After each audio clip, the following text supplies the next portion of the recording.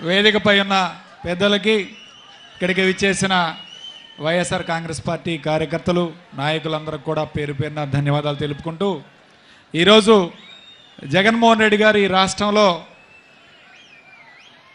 సంవత్సర పరిపాలనలో తెలుగుదేశం పార్టీ ఏవైతే హామీలు ఇచ్చిందో మరి హామీలన్నీ ఏమయ్యాయని ప్రశ్నించడానికి ఈరోజు సమర దీక్ష కార్యక్రమం ఏర్పాటు చేశారు. ముఖ్యంగా ఈరోజు రైతుల రుణమాఫీ ముఖ్యమైన అంశం అయితే ఏ అంశం మీద ఈరోజు తెలుగుదేశం పార్టీ అధికారంలోకి వచ్చిందో ఆ అంశాన్ని కూడా తుంగలో దొక్కి చంద్రబాబు నాయుడు గారు ఈరోజు కల్లిబొల్లి మాటలు చెప్తున్నాడు.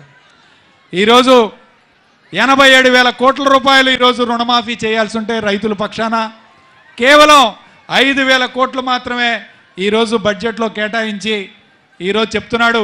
మంత్రి గారు చెప్తున్నాడు పుల్లారావు గారు తొంభై ఐదు శాతం రుణమాఫీ అయిపోయిందట.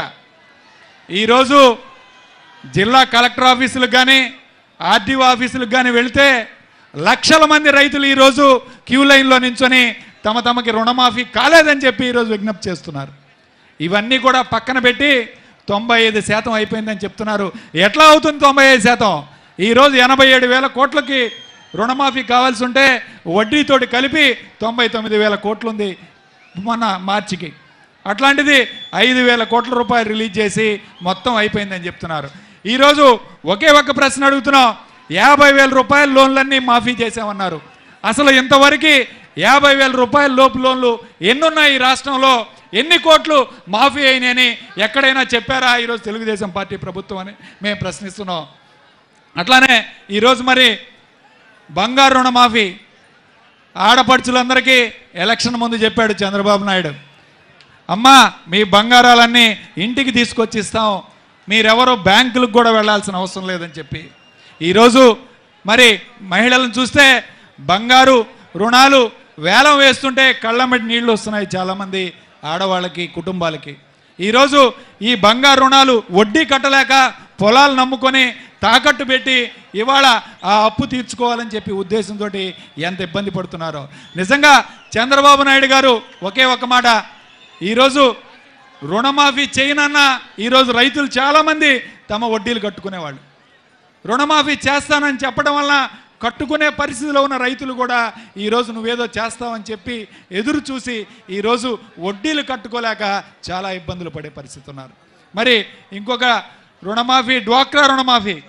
డ్వాక్రా మహిళలకి పద్నాలుగు వేల కోట్లుంటే వడ్డీ నాలుగు వేల కోట్లు అవుతుంది పద్దెనిమిది వేల కోట్లకు గాను మూడు వేల కోట్లు ఇచ్చి ఈరోజు డ్వాక్రా రుణమాఫీ చేశానని చెప్తున్నాడు. చెప్పుతున్నాడు ఇవాళ ఇంత మోసపూరితమైన మాటలు ఇవాళ ఈయన ఇచ్చిన డబ్బులు వడ్డీలకు కూడా సరిపోవు.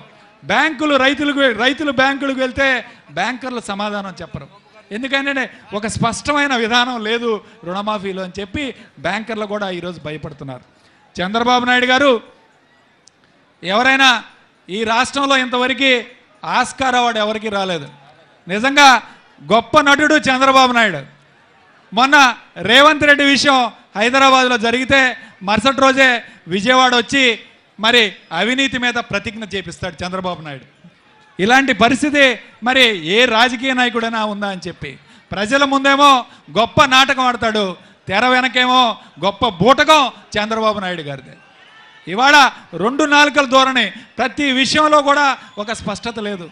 ఇవాళ మరి పెన్షన్లు ఇచ్చామని చెప్పారు. ఎన్ని పెన్షన్లు తీసేశారో చెప్పకుండా కొత్త పెన్షన్లు ఇచ్చామని చెప్పారు. దాదాపు రాష్ట్రం అంతా ఆరు లక్షల యాభై వేలు పెన్షన్లు తీసేశారు. జిల్లాకి యాభై వేలు చొప్పున.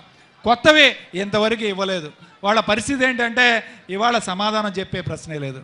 ఇంకా మరి అట్లానే నీరు చెట్టు కార్యక్రమం అని బ్రహ్మాండమైన కార్యక్రమం ఒకటి పెట్టాడు ఈరోజు చంద్రబాబు నాయుడు. ఈ కార్యక్రమంలో రాష్ట్రం అంతా దాదాపు రెండు వందల కోట్ల రూపాయలు ఇవాళ తెలుగుదేశం కార్యకర్తలు దోసుకోవడానికి ఈరోజు చంద్రబాబు నాయుడు ఈరోజు పళ్ళెంలో పెట్టిస్తున్నాడు. ఒక్కొక్క మరి చెరువు తీసుకుంటే దాదాపు క్యూబిక్ మీటర్కి ఇరవై తొమ్మిది రూపాయల చొప్పున ప్రభుత్వం ఇస్తుంది. అది తీసుకుంటూ మరొక వైపు మట్టి ట్రక్కుకి మూడు వందల రూపాయలు నాలుగు వందలు ఐదు వందల రూపాయల చొప్పున అమ్ముతున్నారు. ఈ రాష్ట్రం అంతా కూడా ఈరోజు కేవలం తెలుగుదేశం పార్టీ కార్యకర్తలుగా ముఖ్యమంత్రి చంద్రబాబు నాయుడు ఈ రాష్ట్ర ప్రజలుగానే ఒకసారి ప్రశ్నించుకోవాలి. ఈరోజు మంత్రులు ముఖ్యమంత్రి కూడా సిగ్గు లేకుండా చెప్తున్నాడు మా కార్యకర్తలకే పనిచేయండి అని చెప్పి. నువ్వు నిజంగా ఓట్లేసి గెలిపించింది ఈ రాష్ట్ర ప్రజలందరూ. అందరికీ సమానంగా చూడాల్సిన బాధ్యత ఉంది. అలాంటిది నువ్వేం చెప్తున్నావు? ఇవాళ మా కార్యకర్తలకే పనిచేయండి అని చెప్పి చెప్తున్నారు. ఇవాళ ప్రతి జిల్లాలో కూడా మీరు గమనిస్తే ఎంఆర్ఓలు పనిచేయరు ఎండిఓలు పనిచేయరు ఆర్డీఓలు పనిచేయరు. వీళ్ళందరూ కూడా ఏకపక్ష వైఖరి. తెలుగుదేశం పార్టీ కార్యకర్తలు ఏది చెప్తే అది చేయటం. కేవలం పార్టీ కార్యకర్తలకి తొత్తుగా మిగిలిపోయారు ఈరోజు అధికారులు. వాళ్ళని ఏదైనా ప్రశ్నిస్తే సార్ దండం పెట్టి మేమేం చేయలేమండి అని చెప్పి ఈరోజు చాలా ఆఫీసుల్లో చెప్పడం జరిగింది. ఈ విధంగా పరిపాలన ఇంత అస్తవ్యస్తం చేసి ఈరోజు ఈ రాష్ట్రంలో మరి ఒక్క సంవత్సరం కాలంలో ఇంత వ్యతిరేకత తెచ్చుకున్న ప్రభుత్వం ఎప్పుడూ లేదు. తప్పకుండా రానున్న ఎన్నికల్లో జగన్మోహన్ రెడ్డి గారిని ముఖ్యమంత్రిగా చూస్తాం. మనం అందరం తప్పకుండా త్వరలోనే మంచి రోజులు వస్తాయని చెప్పి ఈరోజు మీ అందరికీ చెప్తున్నాను. ముఖ్యంగా ఈరోజు వైఎస్ఆర్ కాంగ్రెస్ పార్టీ కార్యకర్తల మీద చేస్తున్న అరాచకత్వం. ఎక్కడ చూసినా కేసులు పెట్టడం వీళ్ళని నిర్దోషులుగా ఉన్న వాళ్ళ మీద త్రీ నాట్ సెవెన్ పెట్టడం మరి జైలుకు పంపించడం ఈ విధంగా అరాచకత్వం సృష్టిస్తున్నారు. ఈరోజు తప్పకుండా వీళ్ళందరికీ బుద్ధి చెప్పాల్సిన అవసరం ఉంది. మీ అందరికీ మేము వైఎస్ఆర్ కాంగ్రెస్ పార్టీ తరఫున తప్పకుండా మనకు మంచి భవిష్యత్తు ఉంది. మీరందరూ కలిసికట్టుగా జగన్మోహన్ రెడ్డి గారిని ముఖ్యమంత్రి చేయాలని మనసారా కోరుకుంటూ ఈ అవకాశం కల్పించిన మరి గుంటూరు జిల్లా అధ్యక్షులు మర్రి రాజశేఖర్ గారికి కృతజ్ఞత తెలుపుకుంటున్నాను. ధన్యవాదాలు.